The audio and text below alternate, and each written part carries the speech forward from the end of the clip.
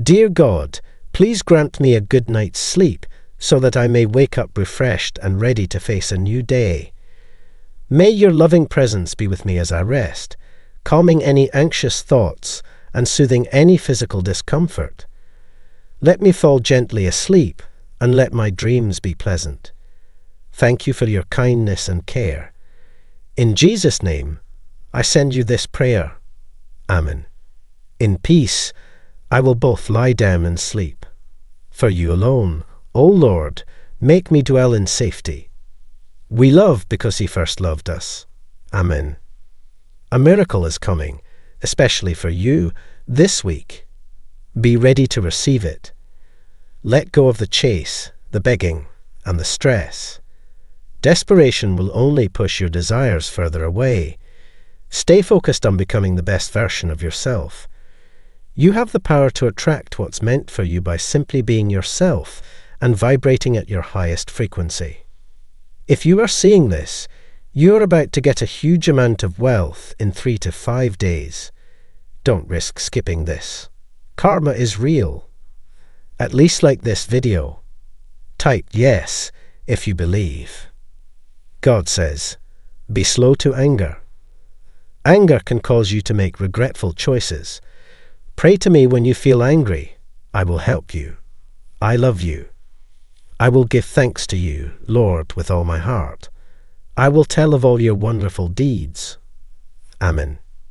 God says, Oh, stay calm. I will get you through this. God says, You are going into a season where you're about to experience breakthrough after breakthrough because what you went through didn't break you. Type Amen. A just man falls seven times and rises up again. God says, I don't care what the enemy told you. You're next in line for a miracle. To whoever reading this, I hope you get $20,000 out of nowhere. Type firm, yes, if you are ready. God says, You're going to make it. You and your family will be just fine. God is our refuge and strength, a very present help in trouble. God says, Imagine affirmation magic how much good news you will be sharing soon. Your life is truly a miracle. God says, Be patient.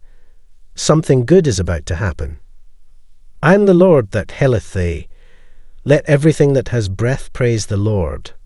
Praise ye the Lord. God says, I heard you. Be patient. So he got up and went to his father. But while he was still a long way off, his father saw him and was filled with compassion for him. He ran to his son, threw his arms around him, and kissed him. You are going to receive unexpected money in 72 hours.